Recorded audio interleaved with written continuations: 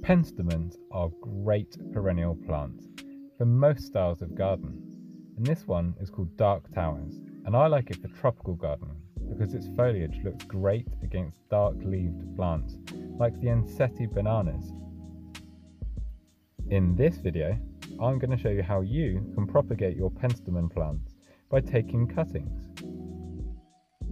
The first step in propagating penstemons is to select plant material from a healthy, non-flowering shoot. And then there's a few nifty tricks to prepare this cutting material so it's ready for sticking into compost. Firstly, cut just below a node where there's a good amount of growth hormones in the stem and strip away the lower leaves. Then pinch out the growing tip. With these simple steps complete, your penstemon cutting is ready for sticking into compost. I always place my cuttings around the edge of the pot. That's because this area holds the most moisture, so it will prevent the cuttings from drying out.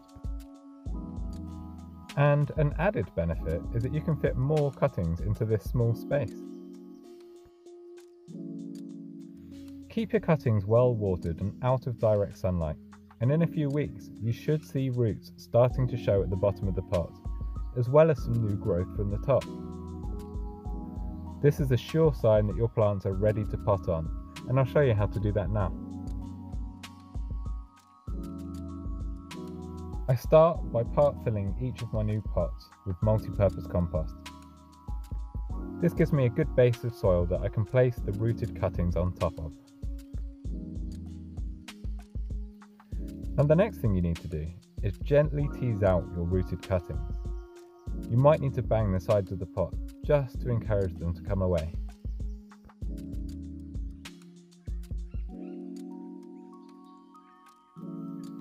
And this is one of the best parts, just seeing how many roots have formed on your cuttings. This pot looks like it's been really successful, and it's just great seeing how many more plants you can grow for free. I can see some snail's eggs here, but we'll just knock them off before we pot them up. Now we're going to use a tool that most of us should have and they're really easy to get hold of. Our hands. Just to gently tease apart the cuttings. You don't need any special equipment to do this.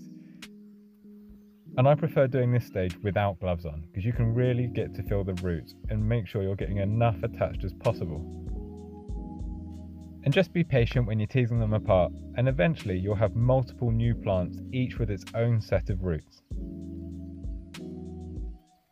And this tiny cutting has grown a ridiculous amount of roots. But that's great, it's really setting it up to grow away well. In time we should see new shoots growing from the tip.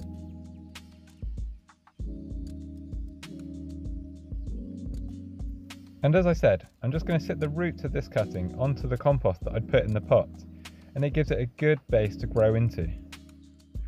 And then I'm just going to fill up the rest of the pot with multi-purpose compost, and this will make sure there's plenty of room for the roots to grow, and lots of nutrients for the plant to uptake to help it fuel new growth. Now just repeat these stages with each of your cuttings. You can see this one's already started to produce new growth from the base of the cutting, which is great. And once all your cuttings are potted up, it's time to water them in. Although this is the last stage, it's really important because it closes any air pockets, making sure the cutting's roots have good contact with the soil. And it also encourages the plants to start uptaking the water that they need to fuel new growth. And that's really all there is to propagating penstemon plants from cuttings. These should grow away well and produce flowers the following year. Please hit subscribe if you like this video and comment below if you've got any questions. Thank you so much for watching.